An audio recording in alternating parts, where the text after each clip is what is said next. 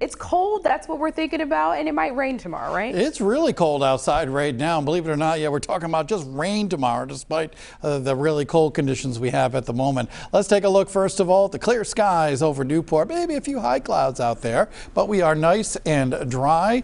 Uh, look at the radar, not tracking anything locally. The precipitation still pretty far off to our west. Threat tracker for tonight, Sunday, and Monday. Low chance of anything severe, but yeah, we do have rain showers in the forecast for tomorrow. Check out these temperatures 11 in Glendale, 18 Coventry, 10 Richmond, 15 Newport, 10 degrees right now out on Taunton, even in the vineyard on the edge of your screen there.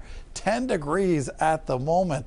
And believe it or not, yeah, we're talking about rain showers because temperatures go up overnight, later in the night. 16 degrees in Providence with a calm wind currently. So satellite radar picture showing some cloudiness trying to come into New England. Precipitation remains off to our west, some snow, some ice, and some rain. This all slides off to the east as an area of high pressure slides away from us during the overnight hours. Let's take a look at the hour by hour forecast.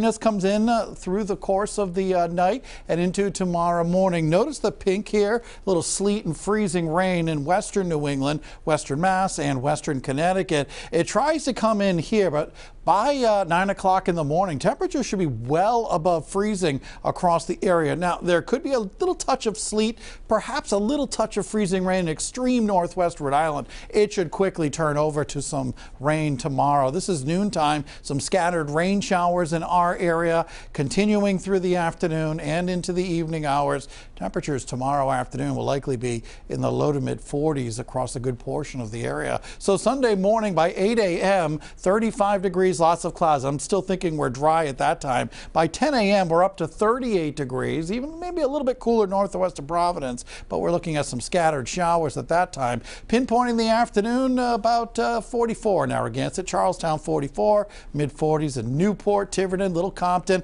a little cooler northwest Rhode Island, upper 30s to around 40 degrees from Burrillville to Scituate to Johnston. Providence about 40 in the afternoon, 42 Fall River, New Bedford about 42 with scattered rain showers through the afternoon. Breezy tomorrow as well. Winds from the southwest and south 10 to 20 miles an hour. Now on Monday we are looking at the precipitation gone comes to an end in the evening hours. No chance of rain through the day. Temperatures upper 20s to lower 30s as we head through your Monday afternoon. On Tuesday, check this out. First thing in the morning, lows around 10, wind chills below zero to start our Tuesday, and really the wind chills hover around zero throughout the rest of the day. Wednesday, we lose a little bit of the wind, but look at the morning low, around six degrees. We warm up into the 30s and then relatively quiet into the end of the work week. Full forecast at WPRI.com.